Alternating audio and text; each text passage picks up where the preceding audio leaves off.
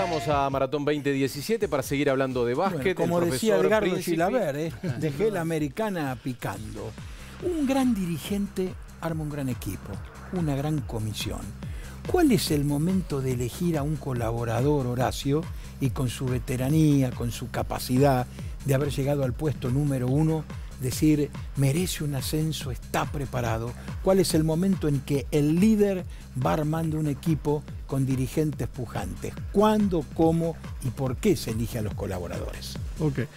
Eh, bueno, el ojo de tigre es importante, ¿no? Pero el caso particular mío, yo tuve una táctica, es como, por ahí le puedo decir que es un, sistema de liderazgo que que se nos da en nuestro deporte, donde tenemos muchas federaciones en todo el mundo, 214, tenemos más federaciones que el fútbol, creo, el fútbol anda un poco para abajo, el vóley igual o uno más que nosotros. Este, pero yo más o menos eh, hago lo siguiente. Eh, yo a una persona que, porque también se da una característica, que en el básquetbol somos todos dirigentes vocacionales, amateurs. Es decir, que la pasión nos lleva a estar esto y, sacrificarse por un deporte, ¿no? Entonces, yo es como que cuando estamos reunidos para detectarlo, le, le, establezco cuál eh, la, la, estrategia que queremos y le planteo el tema, ¿no es cierto? Entonces, claro, por ahí te escuchan, por ahí te pueden decir, este está loco, este no, este tema sí. Y la segunda etapa es donde yo los invito a participar. Cuando yo los invito a participar, entonces lo que quiero lograr yo es que se entusiasme. Pero primero yo le doy mi entusiasmo, me, multiplico y le digo esto y así, le demuestro entusiasmo. Cuando yo logro que esa persona se entusiasme con lo que yo hablo, yo creo que esa persona es la que va a servir a mi proyecto.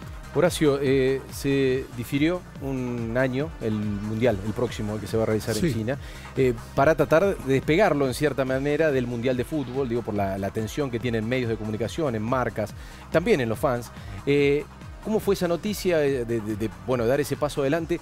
¿Y qué particular va a ser un Mundial, una potencia emergente con 1.500 millones de, pobladores como, como China? Es un paquete de cosas que la Federación Internacional de Básquetbol, increíblemente, a pesar de que todo el mundo, incluido, yo, este, creíamos que habíamos llegado a la organización de los eventos a un nivel de Europa de primerísimo nivel, que nuestras competiciones premundiales y preolímpicos veníamos de Mar del Plata el 2011, que fue la organización excelente y fue por todo el mundo envidiada, inclusive los mismos africanos, los mismos asiáticos, ya estábamos llegando y fuimos sorprendidos cuando el presidente anterior, eh, Iván Manini de, Francia, planteó en una asamblea este, una serie de objetivos. En primer lugar, bueno, la nueva modalidad del 3 contra 3, plantearla, que felizmente no sé si ustedes conocen, ahora es olímpica, hemos trabajado muy duro y ese objetivo lo hemos cumplido muy grande. El segundo era terminar la casa del básquet, la terminamos, un orgullo, el día que pasen por allá, visítelan, si estoy mejor y si no estoy van a ser bien atendidos. Y después hemos hecho un cambio de gobernanza, que eso nosotros veníamos haciendo ya hace bastante tiempo, pensando, hemos eh, unificado un montón de cosas, eh, hemos hecho más democrático, más inclusivo a, nuestra gobernanza.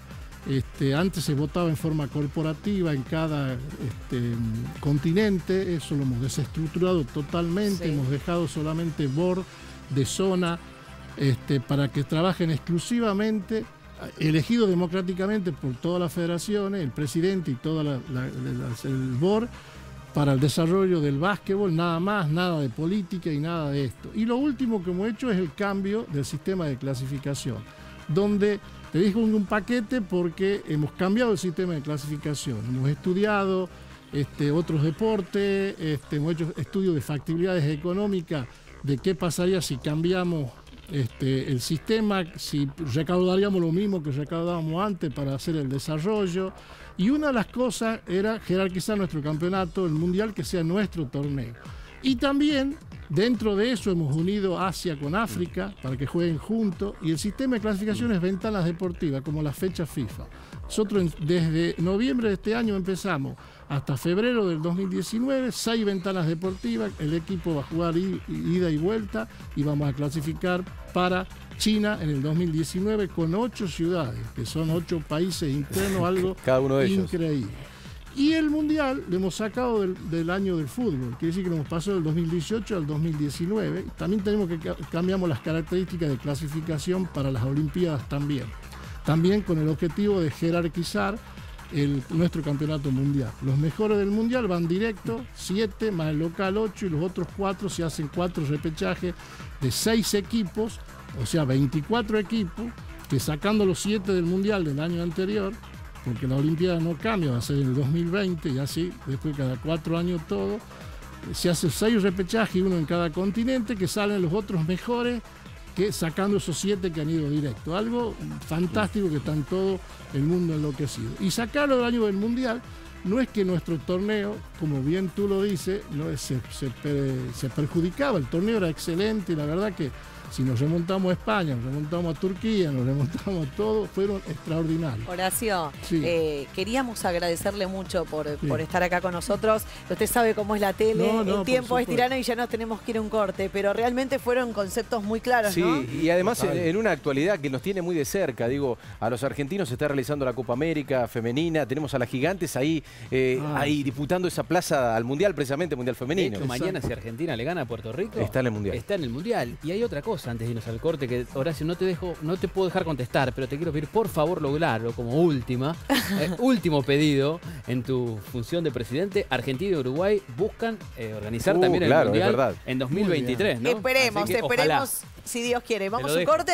Eh, bueno, bueno Horacio, con toda la pasión que, has hablado y que, te referís a este deporte que lo hiciste tuyo de hace tanto tiempo. Te agradecemos por tu presencia, éxitos en la gestión, sabemos que, eso va a suceder y lógicamente estarás aquí siempre abierto para poder venir con nosotros y hablar de esta pasión que, que seguramente te desvela desde aquellos comienzos en Tucumán. Un fuerte aplauso. La segunda parte. La segunda parte, la segunda parte para hablar del Mundial y esperemos que, ese próximo Mundial, el de China, eh, lógicamente tenga a la última llamita de la generación dorada con, con Escola como protagonista, porque se viene la Copa América y también, lógicamente, la clasificación al Mundial de Básquet.